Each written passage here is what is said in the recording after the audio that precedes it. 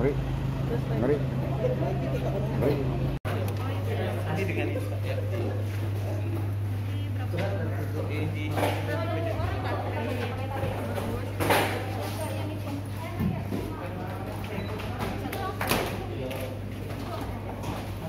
Ini namanya forum.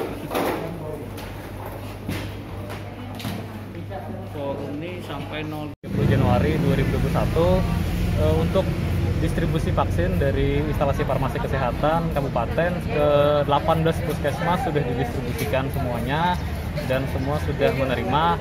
Hari ini kawan-kawan dari puskesmas juga vaksinator eh, telah berkumpul di Puskesmas Bun untuk melakukan simulasi pelaksanaan vaksin yang akan dilaksanakan pada tanggal 1 Februari 2021 nanti. Pak, untuk yang selain 18 puskesmas, teknis pengambilan vaksinnya seperti apa? Untuk vaksin sendiri selain dilaksanakan di puskesmas juga dilaksanakan di rumah sakit dan klinik. Nah, untuk rumah sakit dan klinik karena lokasinya berada di ibu kota kabupaten Tanjung dekat dengan instalasi farmasi.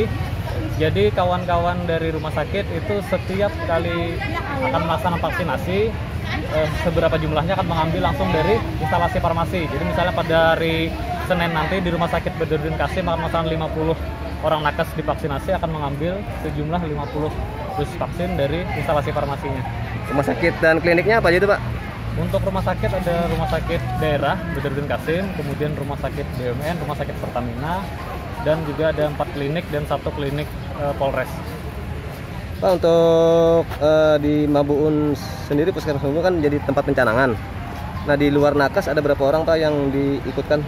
Baik untuk di Pusmabun, untuk nakes sendiri kurang lebih sekitar ada 46 nakes. Nah di luar nakes ini ada petugas publik dan tokoh publik. Ini ada 10 orang yang akan juga bersama-sama melakukan vaksin pada hari Senin tersebut. putar putar putar kuncinya ada diputar kuncinya sebelah kembali